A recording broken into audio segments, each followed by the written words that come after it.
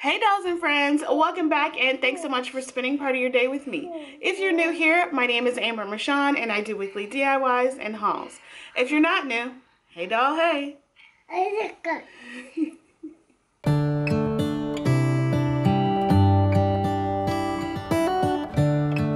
So in today's video, I have another round of fall DIYs for you. I love how these all turned out and I absolutely love the color scheme. Like I said in my last fall video, I don't really have a fall color scheme that I'm particularly going for. I'm just kind of trying everything, seeing what sticks, and I really love this color combination. I hope you guys do enjoy this video. Also, this video is sponsored by EveryPlate, and I absolutely love their products and the ease it takes to make these meals. More on that in a bit, but for now, let's go ahead and jump into the DIYs. Starting off with this really pretty Sola Flowers sign. That's what I'm calling it because it has a bunch on them. From Dollar Tree, I have three of these new signs. That's a family, hello, and gather. And what I do is take a flat tool from Dollar Tree and just pull up that um, top uh, word piece. It's like a shadow box sign.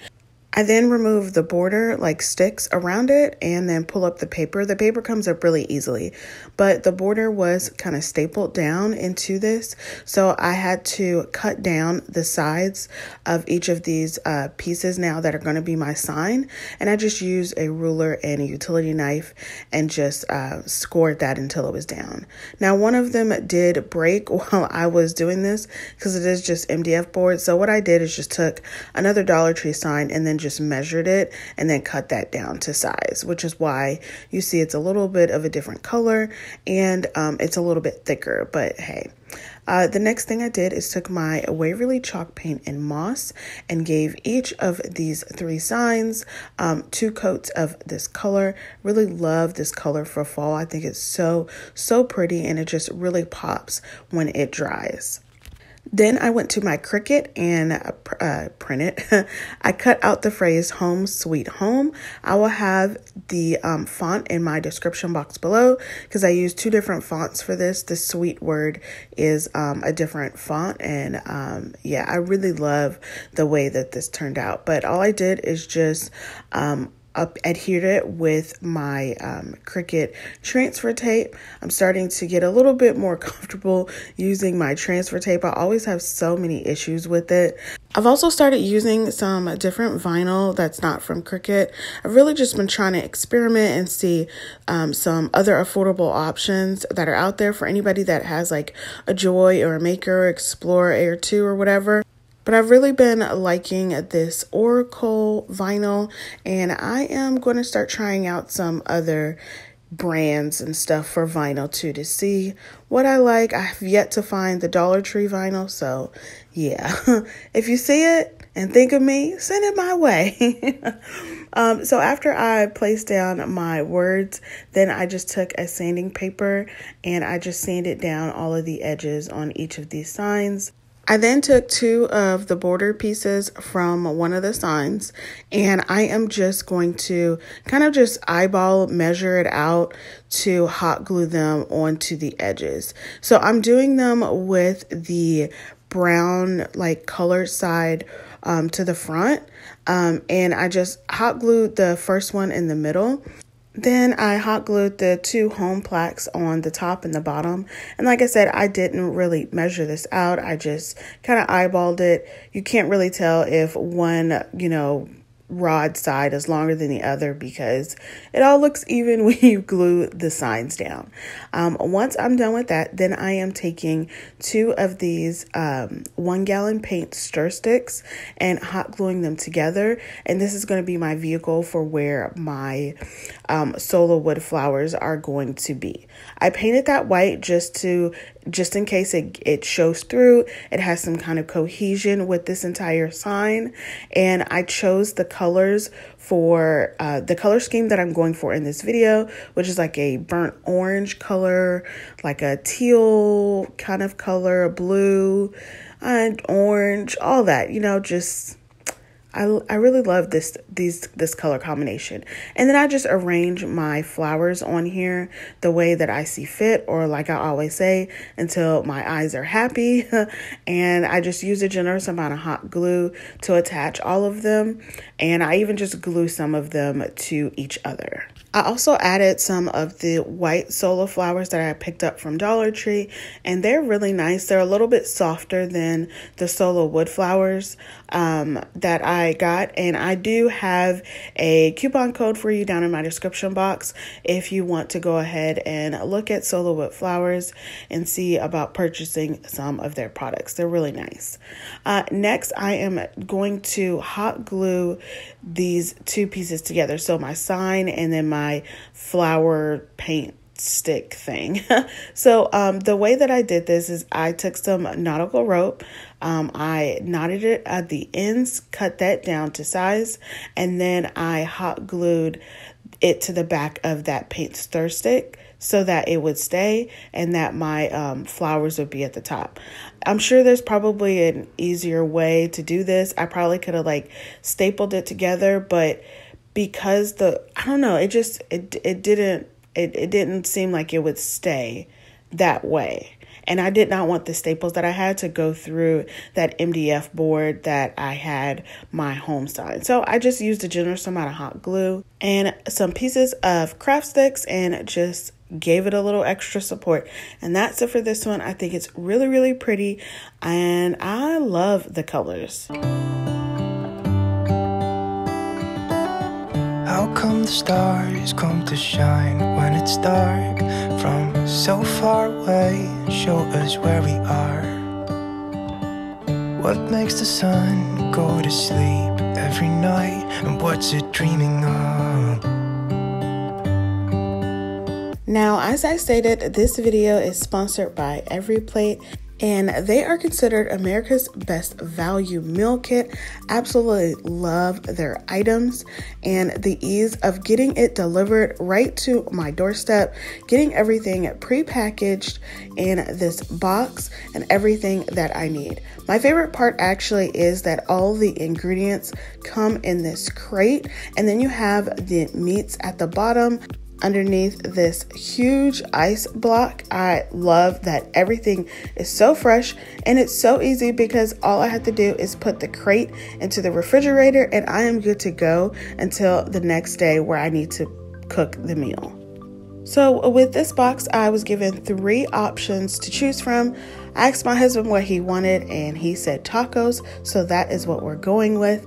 So, what I also love is the step by step instructions for this meal. It's super, super easy, only a few minutes of prepping, 30 minutes of full cook time, and we're good to go.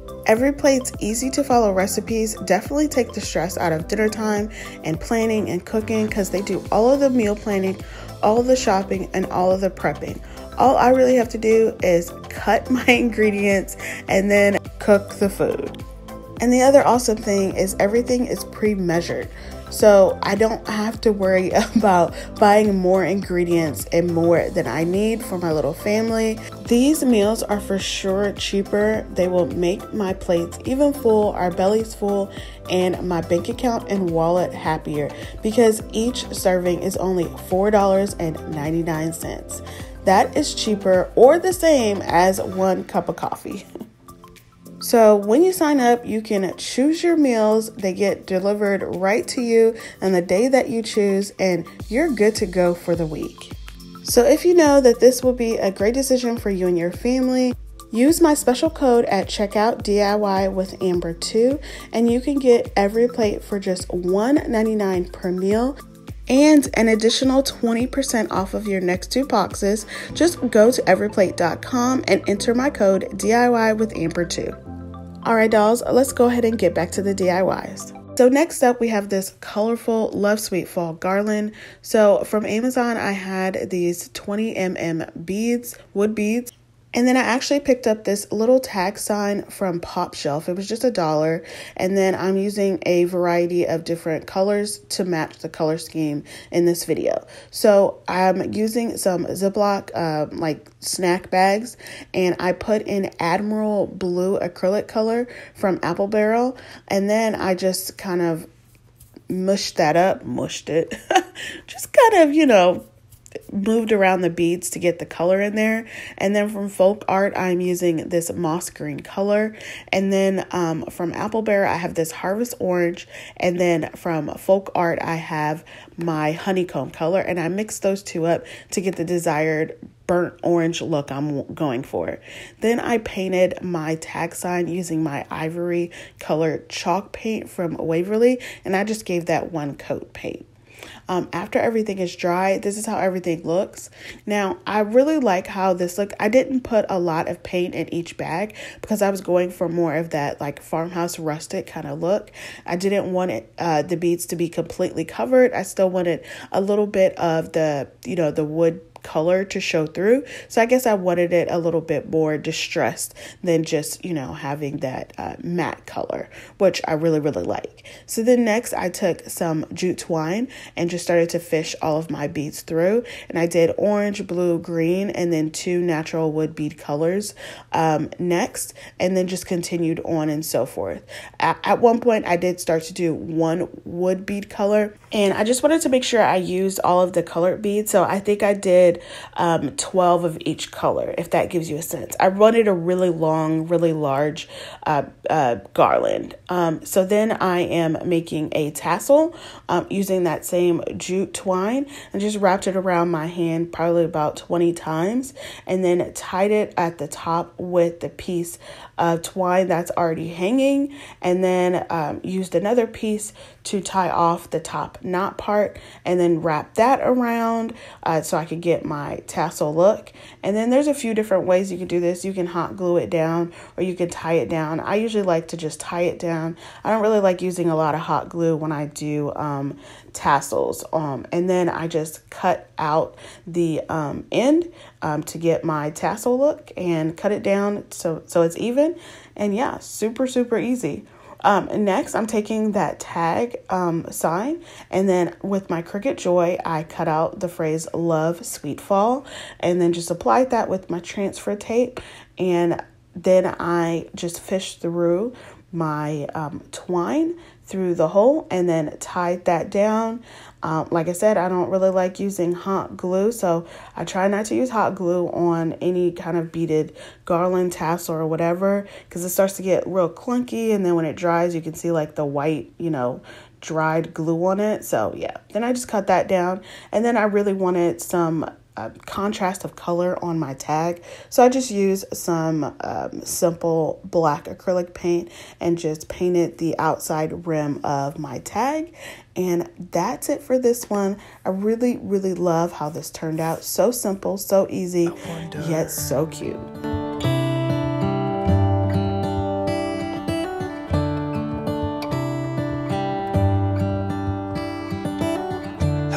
The sky sometimes hides behind the clouds? Maybe it's just like next we have this really pretty fun pumpkin patch sign. So from Dollar Tree I have this farm fresh fall sign with a red truck and then last year they had this family friends and football thing. I've I had it since last year and I just used it today. Well, for this one. So the first thing I did is just remove the ribbon on the back and I'm just using three of those um, pumpkins. And then I just turned the sign over and removed the twine and the staples. And then of course me, I am going to use some um, brown craft paper to cover the front of the sign um, and then sand down where all of the staples were. Um, so I applied my um, craft paper this time with a glue stick. I usually use hot glue, um, but this time I just wanted to use a glue stick just to see how it would hold up. And it, it's actually held, hold up really, really, really, really well. Um, the next thing I did is I took my ruler and a utility knife and gave myself some shiplap, faux shiplap line. So I'm just scoring the front of this sign. If you've been around for a while, you know I really love this technique. I really love doing this because it gives it, once you paint it, it gives it like a faux wood, you know, look to it. And I think it just brings it out, make it look really high end. Then at first I was actually going to paint this using my antique wax color, but I decided to go a different direction. So I used my linen white uh, chalk paint from Rust-Oleum and gave my entire sign just one coat paint. After that dried, um, I actually went over it with my antique wax color. So you see that in a sec. But after I paint this, I set that aside to dry and then I move on to painting my pumpkins. So I'm using the same colors again. So the first pumpkin I used that moss green color and I don't paint the stems because I'm going to give that another color of that what I I think I used burnt umber. And then I just painted the second pumpkin using my Admiral blue color that's from Apple Barrel and then I again mixed my harvest orange and my honeycomb uh, brown color and just mix that up to get my desired uh, orange color. Now make sure you use or you put enough on there so that you get the same color because I had to do two batches of this color and I was so nervous that I was not going to get the same shade, but I did and it turned out great. So here's what I'm talking about. I use my burnt umber um, acrylic paint color to paint these stems or they're called stems, right? Of my pumpkins. I think they are. Oh gosh, it's so early. okay, so then moving on to my sign again, this is where I'm using my antique wax color. So I just kind of put it on there and then wiped it down with a rag and then just kept going back and forth with my white until I got the desired kind of wood grain look to it. Um, and then I just kind of set it aside because I was happy, but I wasn't sure. So I set it aside and now I'm working on my border. So these are the same border pieces that I had from the first DIY and I just removed the staples on it and then painted it white off camera. Then back to my sign, I decided to give it a sanding look or I sanded it down and I really liked the look, but I still wanted it a little bit more white. So I went back and painted over it with just a little bit more white. And this is what I wanted more because I wanted my um, pumpkins to kind of pop off of the back of the sign. And I felt the brown was maybe just a little bit too dark. So then after that was done, I then hot glued down my border pieces. Um, and I, I had to cut them down just a little bit, but I don't think I was pressing record on that. But yeah, just cut them down to fit. Um, but I really loved that I painted these white. I think it just brings it all together so, so pretty. Then I um, hot glued down my pumpkins, and the sign is a little bit small for all of the pumpkins, so I kind of had to stack them up, but I really love the compact look that it has. And you can hot glue them down whichever way that you want. After that was done, I took a lot of these colors, well, not a lot, it's only three colors. From Dollar Tree, they have some colorful raffia. But for this one, I just used the natural brown color raffia and gave each of my pumpkins a bow. And all I did was just take a small bunch and, you know, I tried to kind of measure it out to see how long I wanted them. And then I used some twine to just wrap it up in the middle um, to give it that bow look, tied it down, and then wrapped it around itself probably a good five or six times. And then I just hot glued it um, in place and then hot glued it on top of the pumpkin. Super, super easy.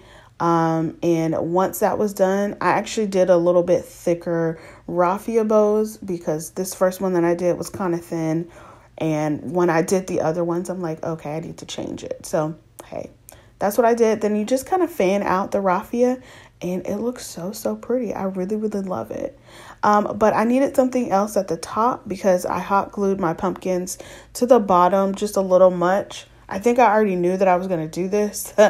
but as I was going, I was like, wait a minute, why did I glue these down so low? So I went to my Cricut and cut out Pumpkin Patch Open Daily and I applied that to the top and that's it Love, love, love this. So, so pretty.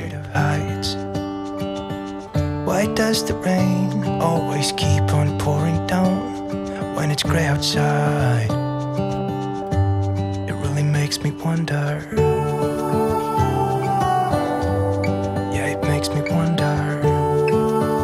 Next up, I'm making these cute mini wood pumpkins. So I had some scrap wood in my last DIY video and I cut it down to make, I made like a wood pumpkin and I had these pieces left over.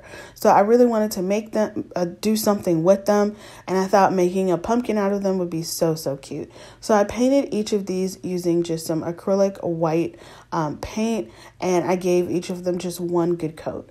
Then I have these wood stems from Dollar Tree. I just have a bunch in my stash. So I was able to pick out the tall, like skinny ones that I wanted.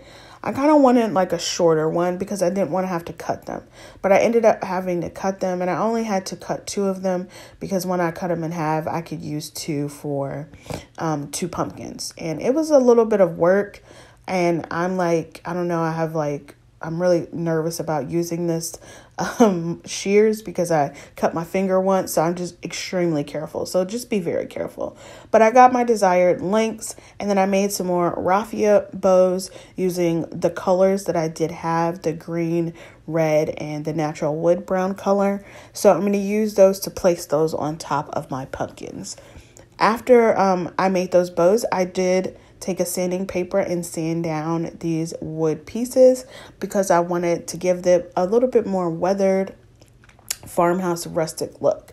So then I hot glued my wood stems on the top and then hot glued the raffia bow right in front of that. And then I actually have this beaded garland. I got this from Christmas last year and I'm really loving using them in these fall like pumpkin um, DIYs. So I just wrapped it around my pinky finger a few times to get that spiral look and then just hot glued it right behind my raffia bow for each of these pumpkins and just kind of played with it until I liked the position of it. And that's it. I really, really love how these turned out. They are so, so adorable. I definitely think they're really fun and a nice addition to like any of like your vignettes or table decor just to add it to, like, to your tray. I think it would be so cute and so fun to add it to that.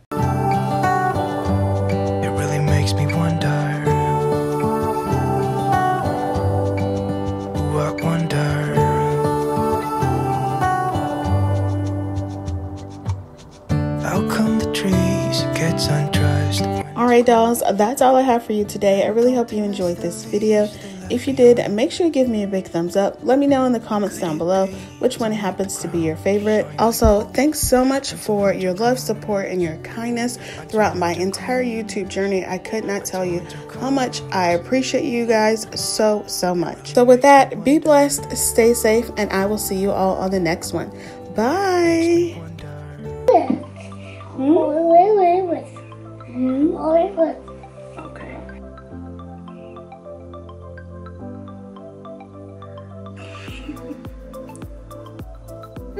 Okay. So in today's video, did I scare you? bye bye. Bye bye. Bye bye. what I said? What are you saying?